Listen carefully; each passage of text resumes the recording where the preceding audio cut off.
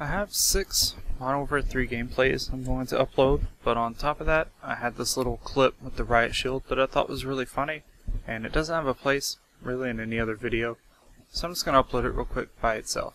Hope you enjoy. UAV online.